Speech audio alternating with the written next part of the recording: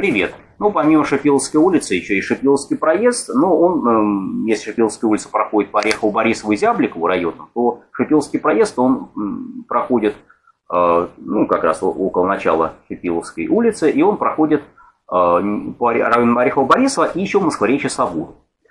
Э, вот. И проезд тупиковый. Тупиковый, он идет от Каширского шоссе и до гаражей и садов вблизи кольцевой дороги. Ну, то есть он почти доходит до кольцевой дороги, но не совсем.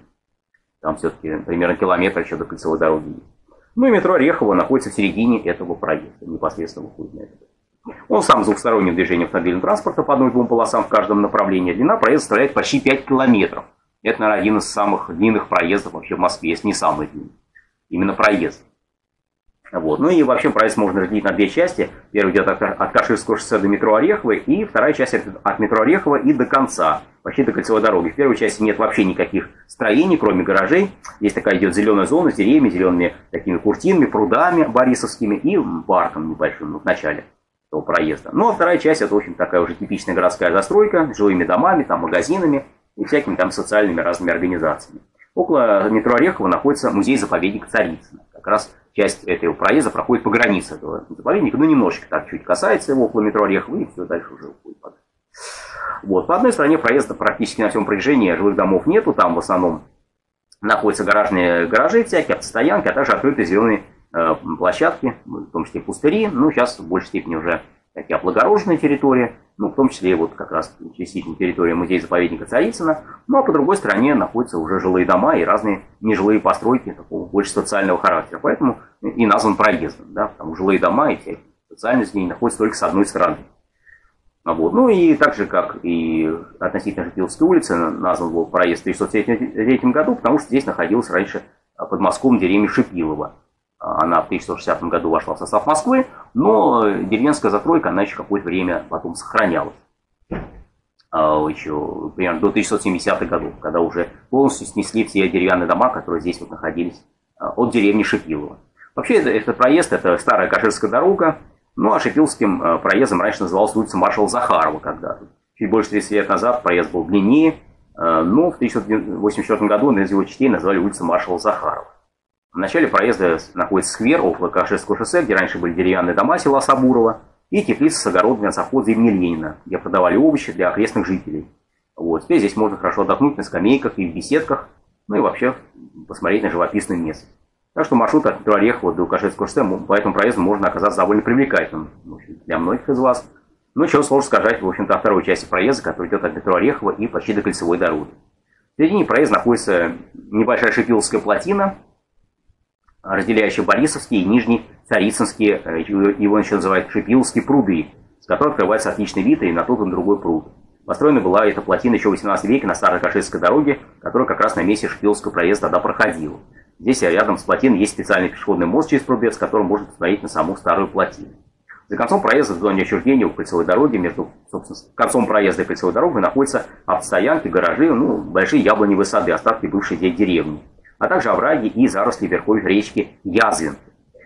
Вот. Вообще на, этой, на этом проезде много очень гаражей, ну, отчасти паркингов, хотя больше таких советских еще гаражей зеленых, да, вот, всем известных, и открытых от стоянок тоже, особенно около метро Орехов. Метро Орехов, кстати, здесь была открыта, зеленая ветка метро была открыта э, в 1984 году, и какое-то время станция метро Орехов была конечная, ну, небольшое время, пока линию, по-моему, в 1985 году через год не продлили до Красногвардейска. Улица в основном жилищно-социальная, ну, кроме, естественно, зеленых зон и автостояночной зоны. Ну, а, а по другой стороне она жилищно-социальная, здесь много жилых домов, а, вот, и в основном они все относятся к советскому времени. Это 9, 12, 16 этажные дома, построенные в 1970-е годы. Но есть также 17-этажные дома, построенные отчасти в 1980-е годы, но отчасти уже в 1990-е годы, по советское время. И есть один десятиэтажный дом, построенный в 1997 году, тоже 90 годов.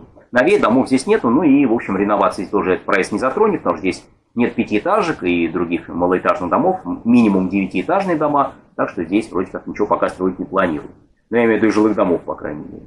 Да и других объектов тоже. Очень плотно здесь застройка, особенно строить негде, но есть только по Царицыно, но там, я думаю, не тронута они территория, там все огорожено. Это музей-заповедник. Ну и Борисовские пруды тоже трогать не будут. Ну, по крайней мере, в ближайшее время. Рядом со станцией метро Орехова находится автостанция Орехова с диспетчерской. Она открылась в 2009 году, эта автостанция. Ну, а так здесь находится несколько детских садов, школ, помимо жилых домов, также и торговый центр разных около метро Орехова, всякие сервисные организации.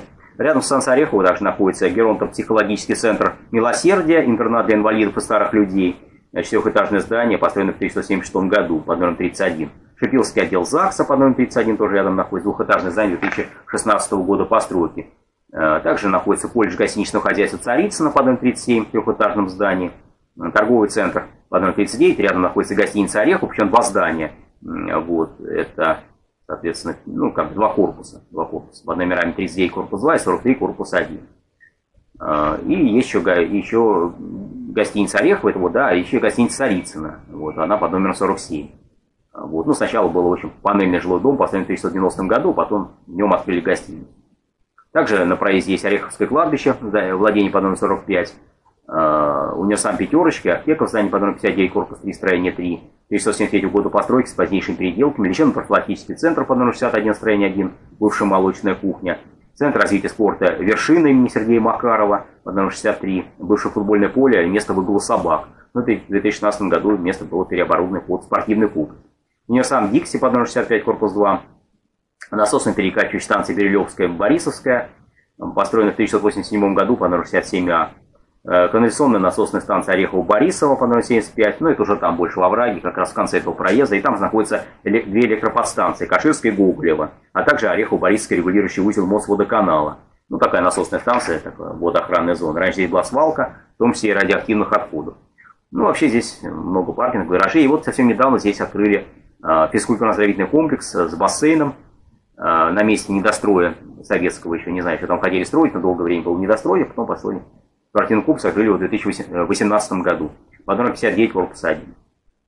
Там местные жители теперь физкультурой занимаются и плавают.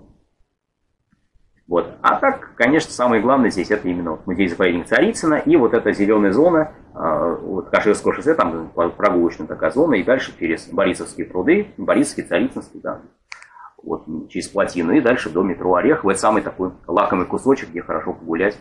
Как раз, в принципе, зелень, так приятно отдохнуть. Ну, а все остальное, в общем, особо интереса не представляет. Хотя, ну, в конце проезда тоже можно смотреть. На остатки яблоневых садов. Застройка же обычная, такая типичная советская застройка, жилыми домами, сами. От метро Орехово может пешком дойти, но на автобусе 711. Но по начальному участку от Каширского шоссе до Шипиловской улице вообще транспорт не проезжает. Приятных прогулок, до новых встреч на улицах Москвы.